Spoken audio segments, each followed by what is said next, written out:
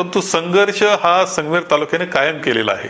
संघर्षातूनच आपण मोठे झालेलो आहोत. निळवंड्याकरता केलेला असेल संघर्ष किंवा नदीचं पाण्याचा वाटा मिळण्याकरता केलेले संघर्ष असतील. सत्यजित खूप चांगल्या मतानं विजयी झाला. त्याचं अभिनंदन आपण या निमित्तानं करतो आहोत. परंतु जे राजकारण झालं ते व्यथित करणारं आहे. मी माझ्या भावना या काँग्रेसच्या पक्षश्रेष्ठींना कळवले आहेत. हे पक्षीय राजकारण आहे. हे कधी बाहेर फार बोललं पाहिजे असं नाही या मताचा मी कायम आहे.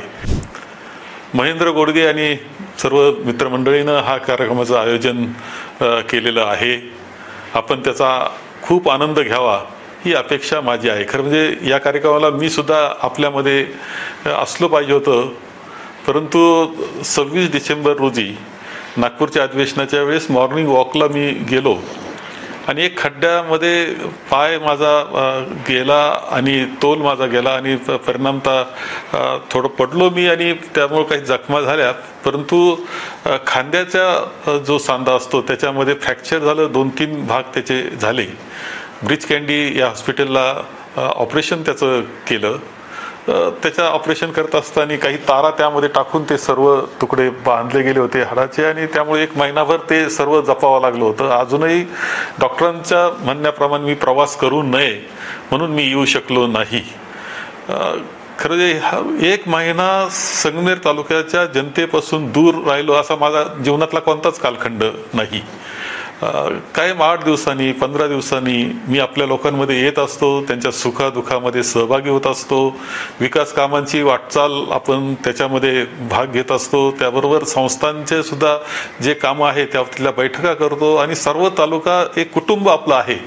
आणि त्या कुटुंबाची काळजी घ्यावी त्या पद्धतीने आपण सर्वजण हा तालुका पुढे नेण्याचा प्रयत्न आत्तापर्यंत केलेला आहे आणि त्यामध्ये यशस्वी सुद्धा झालेलो आहे.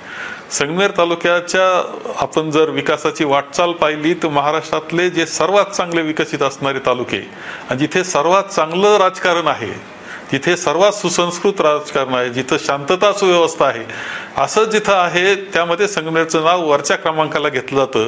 हे कोणीही जाणकार नाकारणार नाही. खरं म्हणजे हे सर्व असताना मधला काळ जो गेला एक महिन्याचा त्यामध्ये खूप राजकारण सुद्धा झालेलं आहे.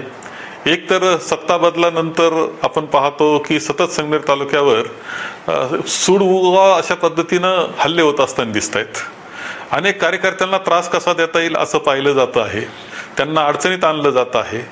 त्यांचे उद्योग व्यवसाय बंद पाडण्यासाठी नाही त्या प्रकारचे प्रयत्न केले जात आहेत. आपल्या जे विकासाची कामं चाललेली आहेत ते बंद पाडण्याचा प्रयत्न चाललेला दिसतो हे सगळं चाललेलं आहे.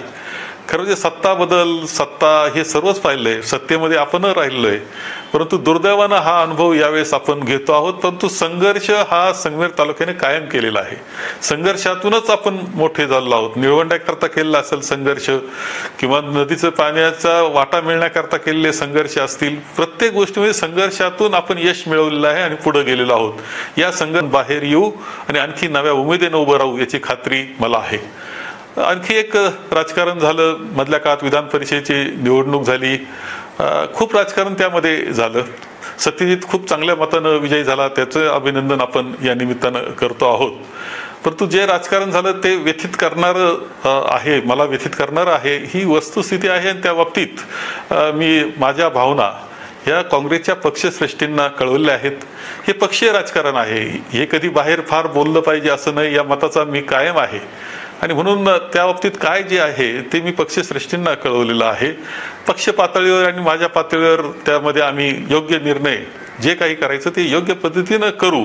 त्या बाबतीत आपण काही काळजी करण्याचं कारण आहे असं मला वाटत नाही. त्यामध्ये आपण पुढे जाऊ. काँग्रेसचा विचार हा आपला विचार आहे. खरं मधल्या काळामध्ये काही बातम्या ज्यावेळेस सर्व विधान परिषदेचं राजकारण सुरू होतं त्यावेळेस काही बातम्या अशा आल्या की फार भारतीय जनता पक्षापर्यंत आपल्याला नेऊन पोहोचवलं. एवढंच नाही तर भारतीय जनता पक्षाचं तिकिटाचं वाटप सुद्धा करून टाकलं. काही लोक कशा पद्धतीनं गैरसमज पसरवण्याचं काम करतायत हे आपण पाहिलं असेल. अनेक प्रकारच्या चर्चा घडून त्यांनी आणलेल्या असल्या तरी काँग्रेसचा विचार हा आपला विचार आहे. त्या विचारानंच पुढील वाटचाल आत्तापर्यंत वाटचाल त्या विचारानं केली. पुढील वाटचाल सुद्धा त्याच विचारानं आपली राहणार आहे. याची ग्वाही आपण देतो आणि आपण सर्वांनी सुद्धा दिली पाहिजे या मताचा मी आहे. खरं जे हा आजचा आनंदाचा दिवस आहे. आनंदानं हा कार्यक्रम आपल्या सर्वांना ऐकायचा आहे. पण माझ्या मनातल्या भावना त्या ज्या बाबतीत तुमच्या मनामध्ये उत्सुकता असेल मी बोलाव्या. त्या मी या निमित्तानं बोललेलो आहे.